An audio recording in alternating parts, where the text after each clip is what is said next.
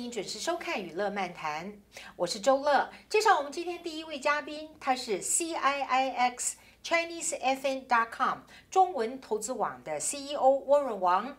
沃润，非常欢迎你。你好，周乐，各位观众朋友，大家好。恭喜你哦，这散户第一金已经开始推出了。是。那这个过程呢，想要提供给喜欢股票的朋友们是什么样的讯息？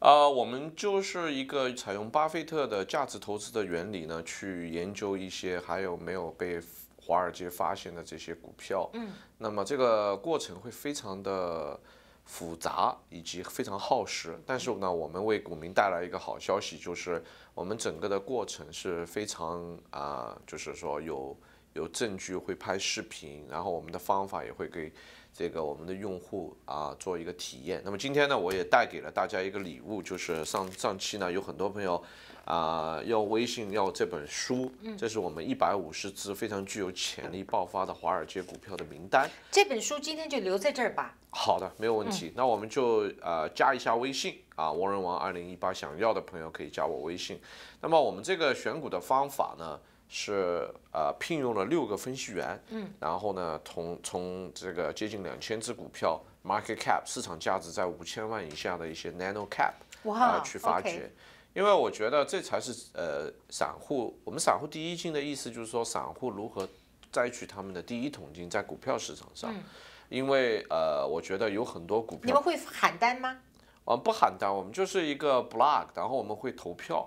我们投票以后决定投这个股票，我们自己会投，我们会自己成立的基金去投，我们的客户也会投。那么啊，一年我们只选五到十只股票，我觉得不要选很多股票。呃，我们中国人最大的问题哈，就像不像美国人，呃，就是中国人买股票，我大概只有百分之十的朋友会说啊，我买了这只股票，我就放在那里不看了。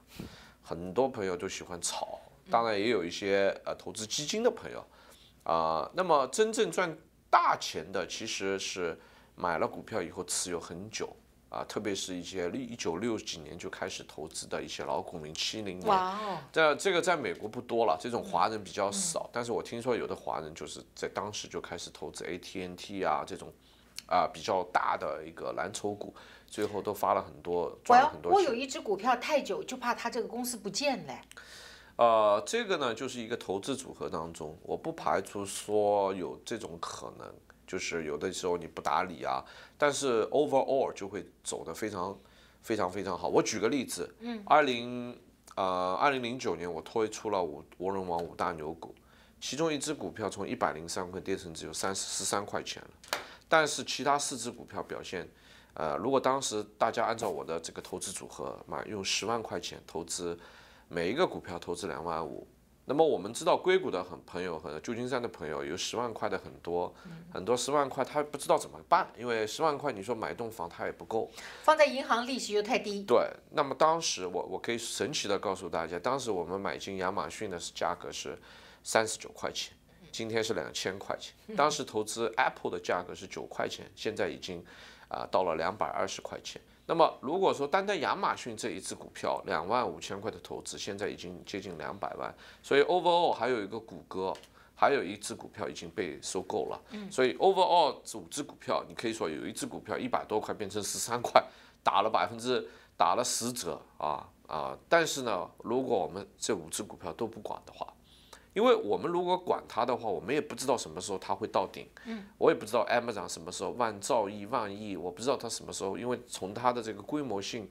已经统治了很多美国的人的日常生活。嗯，所以我觉得，呃，这种可能就像您讲的，有的股票不见了，有的股票打折打得很厉害，但是 overall 的一个 portfolio，如果照我二零零九年这个五大牛股，啊，会有很好的回报。我想二零一九年我也会推出五大牛股。特别是在大麻行业方面，大麻行业，大麻五大牛股，因为我好久我是推出零九年和推出两，自从零八年金融风暴，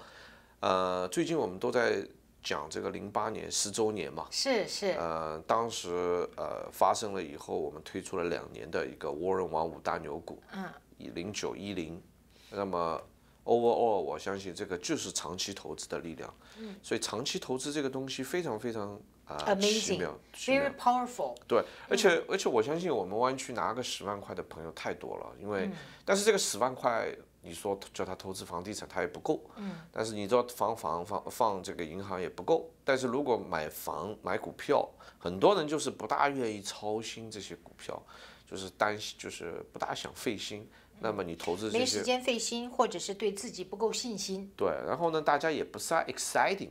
就说我跟他们讲啊，这个股票大家就觉得哦，很久了很久了，这个啊错过了，就要找寻下一个大大黑马。嗯，那我觉得其实很多的股票未来的发展，呃，还是非常具有潜力。比如说沃伦王二零一九年四五大这个大麻股的话，我觉得未来的大麻，你看最近的大麻涨那么多的原因，像 Budweiser，嗯，啊、法国的波尔托波尔多的红酒，嗯，包括我们的 Tesla 这些酒类的行业公司都想去收购这个大麻行业，原因你知道吗？就像 Tesla 一样。Tesla CEO 最近在他的他的视频里面，一边喝着 whisky，一边抽着，我们叫做中国人叫做烟酒不分家。啊，所以这个酒类行业就看中了，说，哎，你喝我的酒的时候，你一定配大麻，大麻也是我的，这个酒也是我的，所以这个的话，这个行业以后，而且整个的趋势是大麻全球合法化，日本也合法了，嗯，所以这样的话，就是大麻合法化在二十年当中会成为一个巨大的行业，他们的。他们未来可能取代香烟，成为比香烟更大的一个纳税大户，所以这个行业，我呃，我我想周小姐有没有在华人你认识的这些投资专家里面，我不知道严博士有没有研究过大麻，没有，你是唯一的 one and only。那我们把这个二零一九年沃润王的五只股票留到三月九号，我们的 Financial Forum 再跟广大的投资朋友来宣布，怎么样？好的，大家不要忘记问我拿这个一百五十股五十个嫩蘑菇。好，要得到这一本书的朋友们呢，可以加 Warren 王二零一八这个微信号，就可以得到这一本书了。这本呢，今天就归我所有，这也算是我的特权吧。好的，没有问题。太好了，太好了。OK，那我们今天的节目就到此结束，就要在沙中淘金，并且要反其道而行之，像传统的找寻价值股是说五块钱以下的不看，而汪润王的是适合现在的投资和未来的投资方法，就是说。小型股，只要它以后有爆发力的，都值得投资，都值得注意。我我觉得五块钱不看也是对的，因为投资人真的没那么多时间。像我们真的就是研专业研究股票的话，我们会去跟 CEO 谈，但是一般散户真的没时间去看五块钱以下，这个很耗时间，很费精力，这样子。那这个工作就交给你们了是。交给我们，放心，大家放心，订阅散户第一金，好的，感谢你，王仁，谢谢。谢谢。观众朋友，我们今天第一段精彩的访谈到此暂时结束，进一段广告之后还有两段精彩的访谈，不要走开，我们马上就回来，谢谢。